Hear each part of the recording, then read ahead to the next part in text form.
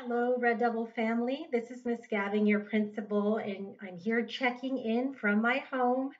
As you know, we're still under our restrictions for our safety and our health, hopefully, good health for everybody.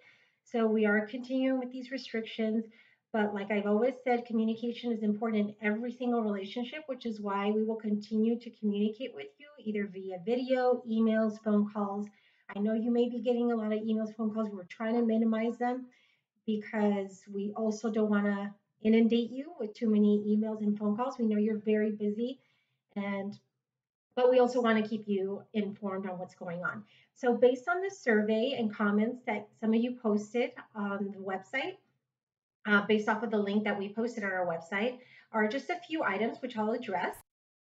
Some of you are asking about senior updates. So you will be getting some communication in the next couple of days, uh, or maybe by the time you see this video, you will have already received some communication from our district as far as a celebration that we're going to have for our seniors. Now, it's not a graduation ceremony, although we are still hoping to plan a graduation ceremony once all the restrictions are lifted.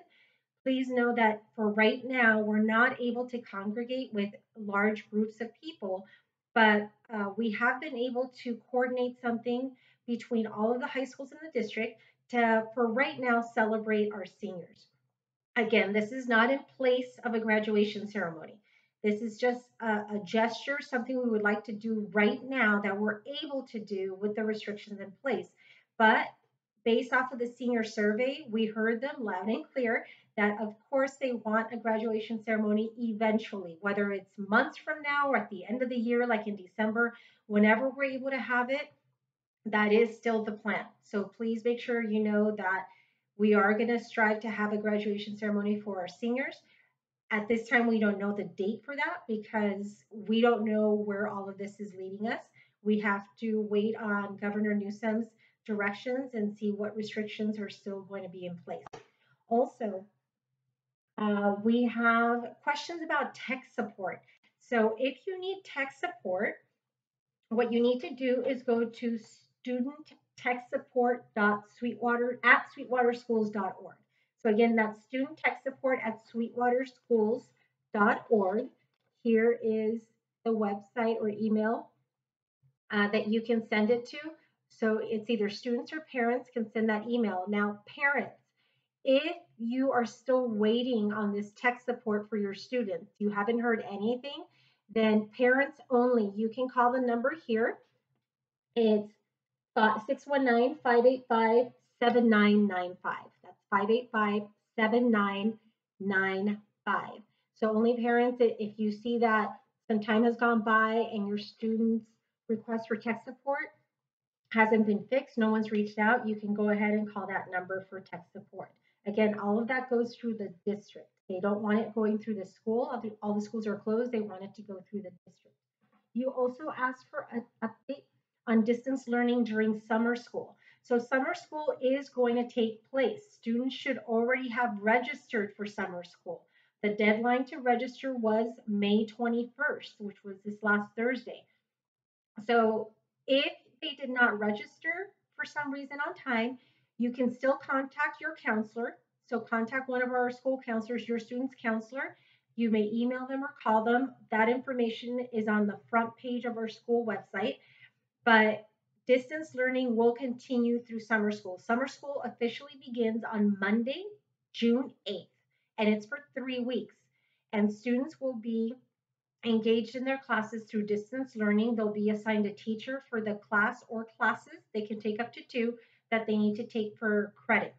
So that will take place, and we're hoping that students are able to engage in their classes. It'll be very important that they participate daily because this is for credit. It's only three weeks. So if they miss any of those days, they don't check in, they don't turn in assignments, unfortunately, they get that credit they need. So please make sure that students attend daily and are engaged with their teacher on a daily basis.